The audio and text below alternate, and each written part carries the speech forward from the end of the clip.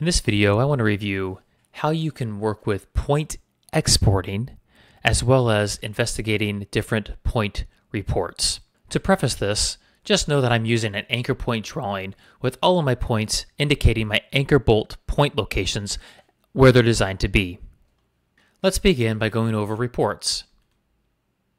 I've reviewed deviation point data in another video and I'll make sure I link that in the description if you need more reference.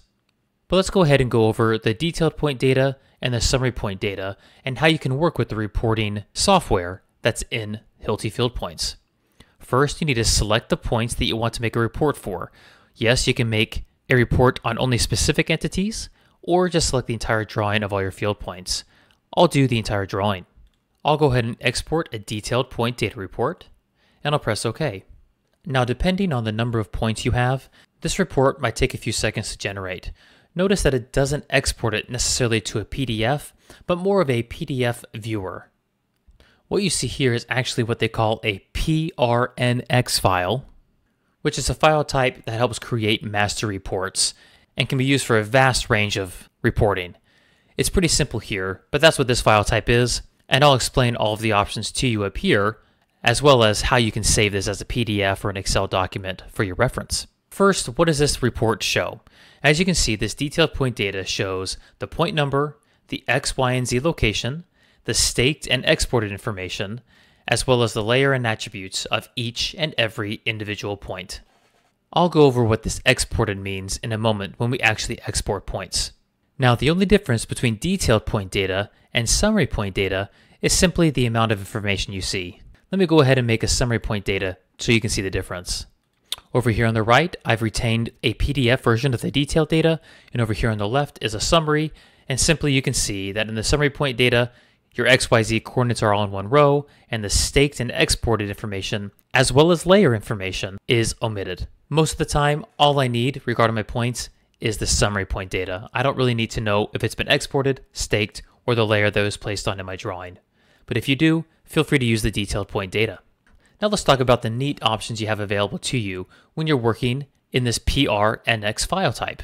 First and foremost, obviously you have the ability to save it.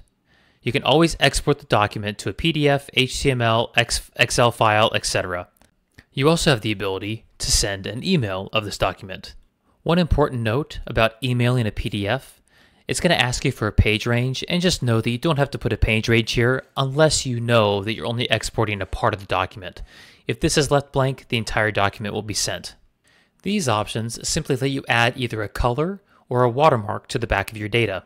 You can add a custom, web-based, or system-based color according to your preference. Or you can add a watermark.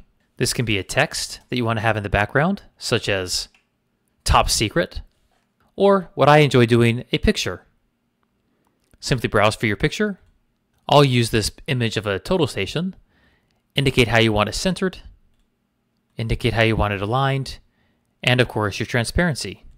And as you can see, you can have both text and picture. I'll remove the text because I don't need it to be top secret. And now you can see I have added a watermark to the back of my data. Use these arrows or the scroll page to navigate page by page. Here are your zoom options and your pan options. And here are your scaling options as needed. Lastly, if you need any additional page setup options, that's located here. Hopefully that's sufficient for you to make your reports using this feature as needed. But let's move on and talk about how you can export the CSV data from your points. Most of the time, what you mainly need from your drawing is the CSV data, because you're going to be taking this data out of this software and importing it into a tablet for layout use. Tablets require CSV or TXT data for this information. For simplicity, I'll simply keep using CSV. When you get to this window, it's asking you to select, again, specific field points or all field points from your drawing. For my case, I'll go ahead and select all my points. You'll notice it found all the points in my drawing, and it shows all the types of points that I have in my drawing. For me, the only points that I have are manual points that I made with the manual point option. However, if you made points with any other option in this field points window, all of them would appear so that you can easily filter between the points that you've made there's a chance that you most likely would simply select all your points. Or if you know you only need to select a certain amount based off the type of point you made, simply make sure you uncheck and check as preferred. Lastly, down here, it's important to make sure you remember the format you use to export. You can use any format of your choice as long as you make sure that you and the infield layout team are aligned. Right now, my format is set to NEH, which means that my coordinates, when they're exported, are going to be in northern, eastern, height, coordinate order, with the northern value first. If you prefer ENH, simply choose ENH. Or if you prefer the headers to have an XY coordinate instead of a N or an E, simply select what you prefer.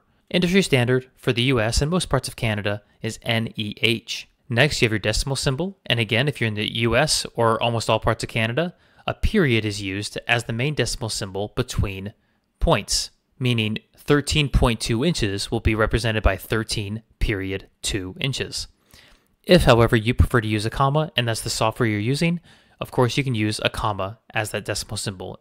Now you have these two options down here set objects as exported or include previously exported points. And this brings me back to what exported means. When you are exporting points, you can indicate here that you want the software to remember that that point's already been exported. The reason people sometimes choose to do this is because of two reasons. Number one, they can indicate on the report that it's been exported and delivered to a customer or to a field team. Or for the second reason right here, you can choose or choose not to export previously exported objects. So a very simple example, let's say that you've designed all of your points and exported everything and set all those objects as exported. You come back the next day and realize you forgot two or three points. Simply make sure that you come in here and have include previously exported objects unchecked. That way the only points you're going to export are the brand new points. Again, this is complete preference to you, but hopefully that makes sense as to what they mean. For my workflow, I almost never have set objects as exported because I'm able to control the points I export simply by using this simplified select button. And I almost always have include previously exported objects checked just in case for whatever reason I might have accidentally checked set objects as exported and I didn't know about it.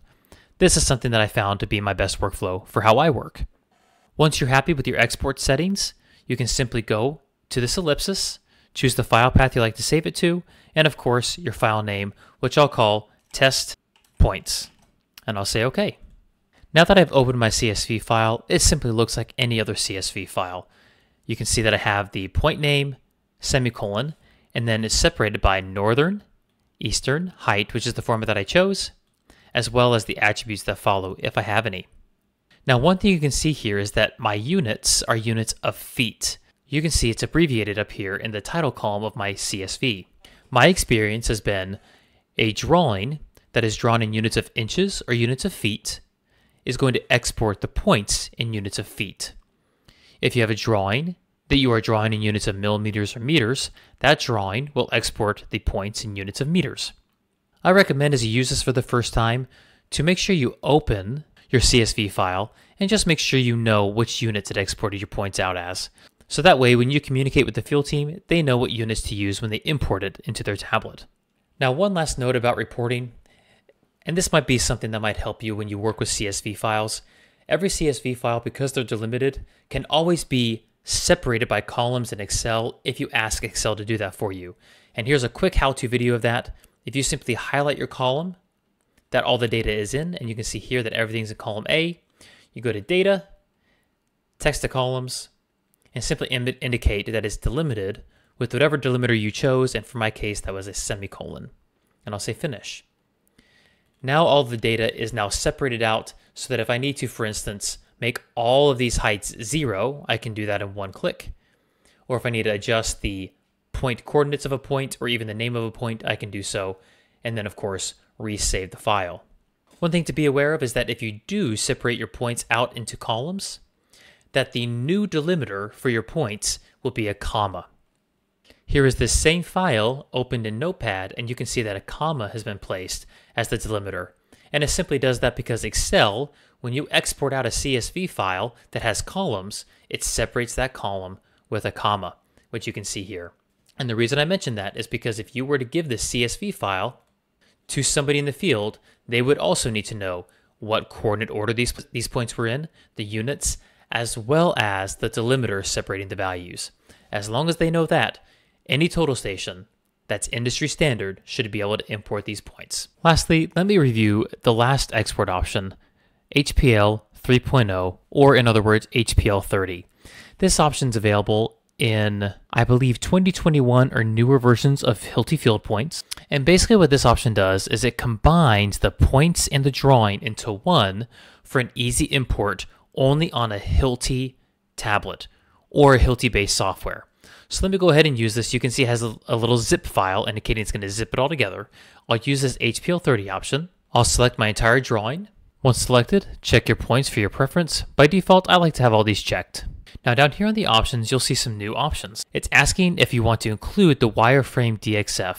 What this means is that when you export all of these points, do you want to include the drawing as part of that? Sometimes I leave this checked and sometimes I leave it unchecked. Just know that sometimes exporting a drawing as a DXF might not bring every single element in the background with it. Sometimes it omits certain things because DXF is a different file type than a DWG. However, if you're using Hilti tablets, you'll see how this is actually a very convenient feature when it works which it most often does. Now you have the other options as normal, set options as exported, I'll simply leave that unchecked, include previously exported points, I like to leave that checked, and ensure unique point numbers when possible, I like to leave that checked as well, because I know that when I go to use the Hilti tablets, the tablets are going to need to have unique point numbers too. I'll save it to my desktop, and I'll call this test points. And you'll receive a notification that says exported successfully.